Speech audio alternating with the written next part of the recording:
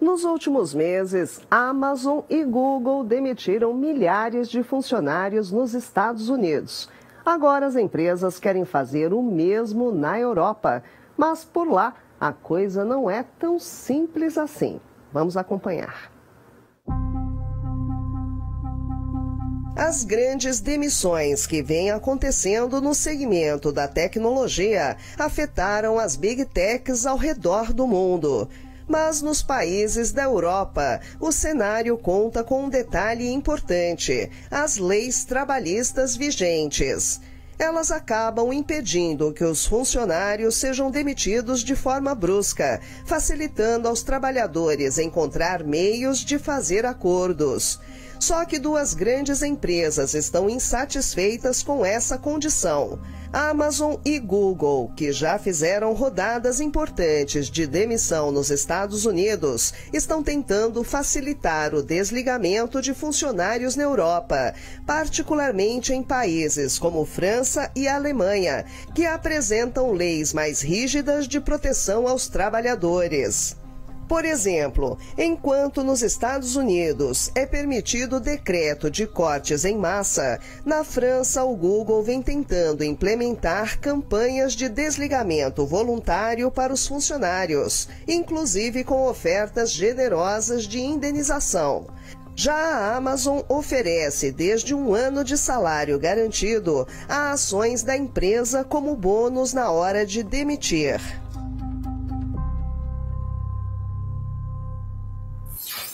A Meta, dona do Facebook, quer comercializar uma inteligência artificial que cria anúncios publicitários. A tecnologia é exclusiva e o plano é que ela seja lançada até dezembro. Será que mais uma profissão está ameaçada pela inteligência artificial? Vamos ver. Os anúncios são uma das principais áreas de ação da Meta. Inclusive, eles são a origem da maior fonte de receita da empresa. Não à toa, ela está trabalhando em uma inteligência artificial exclusiva capaz de criar anúncios.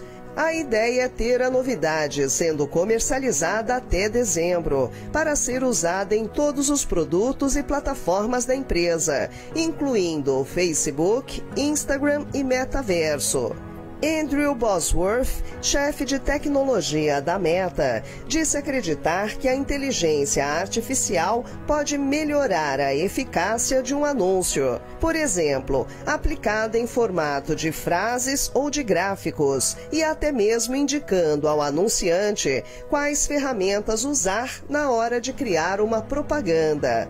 Embora as expectativas sejam altas para os desenvolvimentos em inteligência artificial, esses trabalhos vêm despertando preocupações acerca da ética e da responsabilidade. E o executivo reforça ser importante trabalhar com isso em mente. Entretanto, ele diz que é difícil interromper o progresso atual.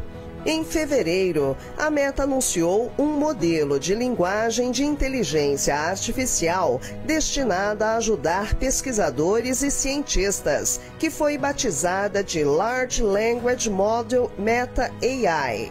Já esta semana, a Meta lançou um modelo de linguagem Segment Anything Model, que é capaz de identificar objetos e vídeos.